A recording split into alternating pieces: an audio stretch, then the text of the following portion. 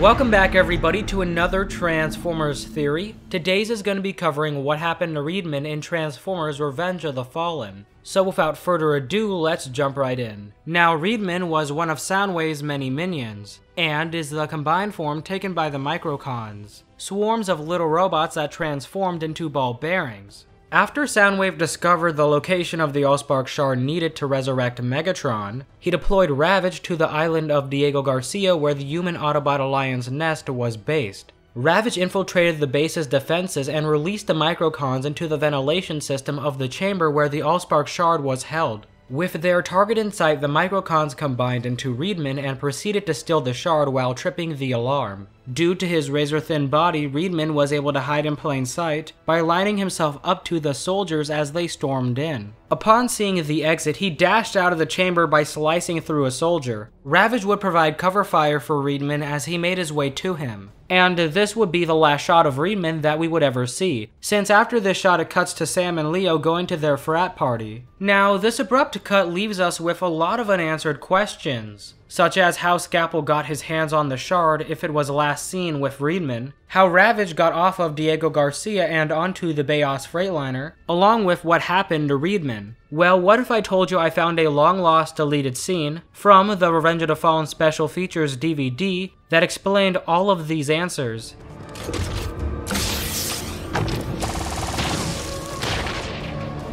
Uh, here's the dock bot at the bottom and he finds the shard there. Hope it's clear that, that that's the same Dr. Bot that uh, basically examines Sam later in the movie.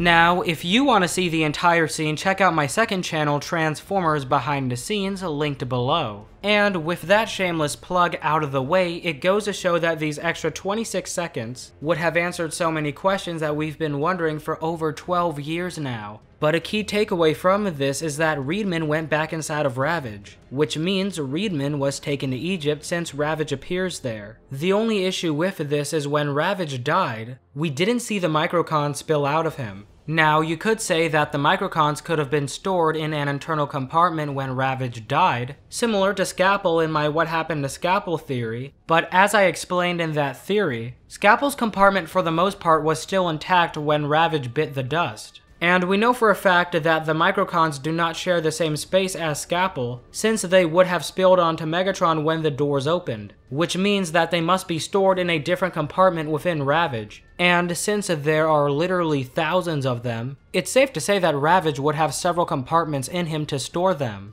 And it would be naive to think that none of those compartments busted when Ravage was pulled apart. So with that said, it would be impossible for Reedman to be inside of Ravage when he died meaning that he must have been deployed for a second time. And there's one other scene in Egypt that would make sense for Reedman to be deployed. That scene would be when the Decepticons were looking for Sam. While Megatron was ordering his troops to advance on the Autobots and Nest, Starscream, under the orders of Megatron as well, was tasked with preventing Sam from reaching Prime's body. Under his command, he had Rampage, the Constructicon clones, several protoforms, a single Insecticon, and most notably Ravage. Since securing Sam was a key priority, Starscream needed all hands on deck. So I think it's safe to say that Reedman was likely deployed as well as Scalpel to help find Sam. And due to his unique body structure, he would be able to search in places most bots can't. Now, as for what happened to him after the manhunt, he likely regrouped with Starscream's unit of Decepticons when they pushed an assault on the Autobots and Nest,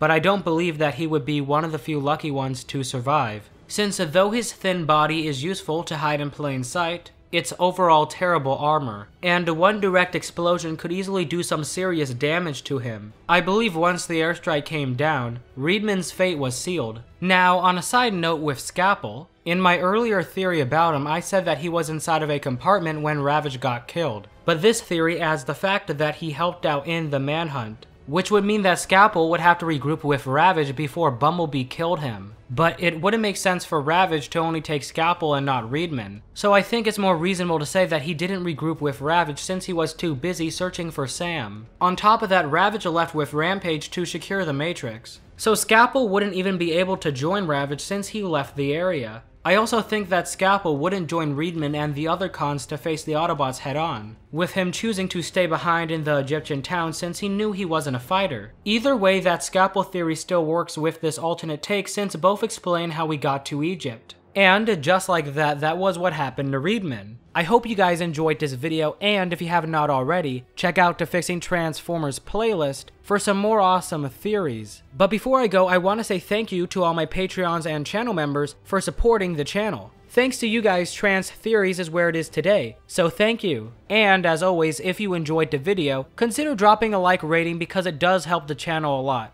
With that said, keep on theorizing.